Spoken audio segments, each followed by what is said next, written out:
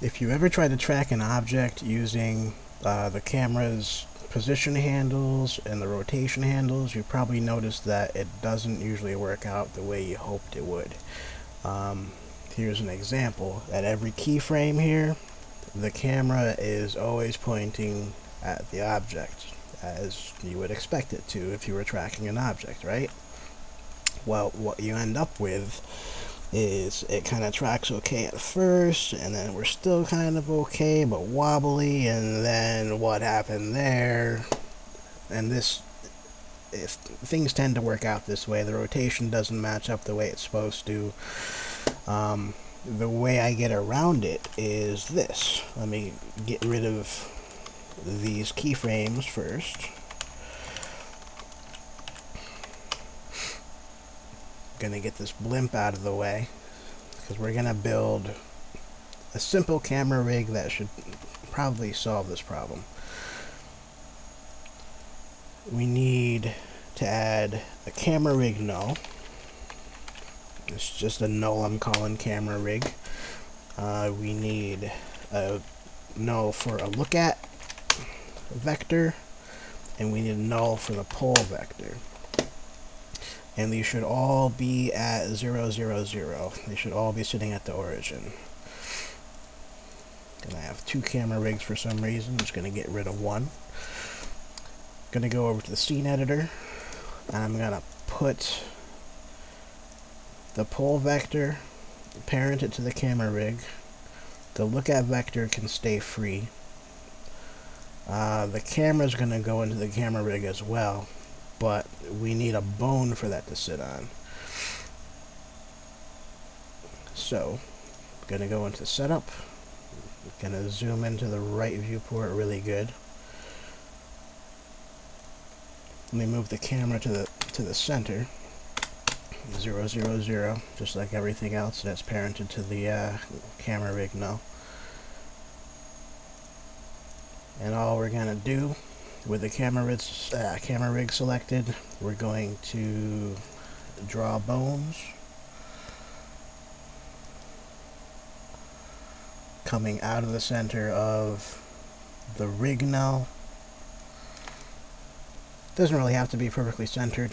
Um, the camera's going to sit on it pretty much wherever you, you put it on there. Um, but I, I like to keep it centered just so it looks good and then what you need to do if you go into the bone motion properties actually let's go back to the scene editor and parent the camera to the bone so that those two move together. And there that is.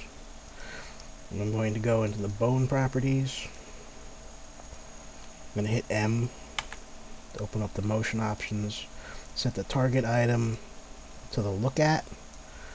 Set the pole item to the pole, those two nulls that we just added. And then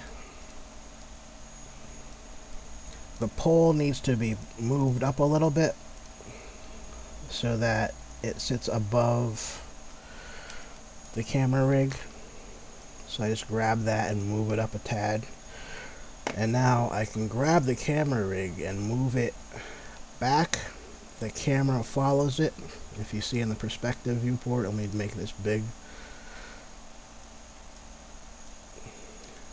And what's happening is the camera is following the bone, and the bone is pointing at this look at null right here. So that's one way to control the camera. And if I move the blimp back down into the scene, you can see that by moving the rig around we can actually track the blimp from any angle without the bounciness and without the confusion as far as the angles go, where the angles are suddenly positive, where they were negative before, and this and that. Um, whoops. Will help if I keyframe something. And the other thing you can do is you can move the look at vector around. So I just grab the look at and you can move it to the back of the blimp if you want. Say we set a keyframe for the uh, the rig to kind of do a half an orbit.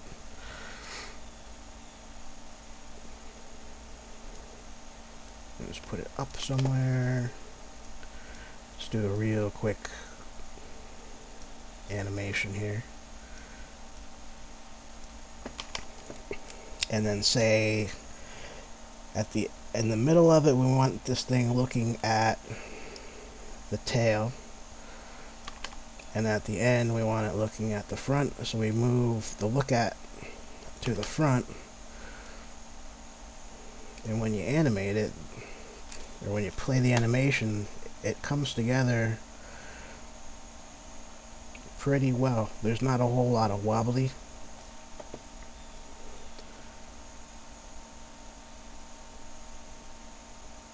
And then it slides to the front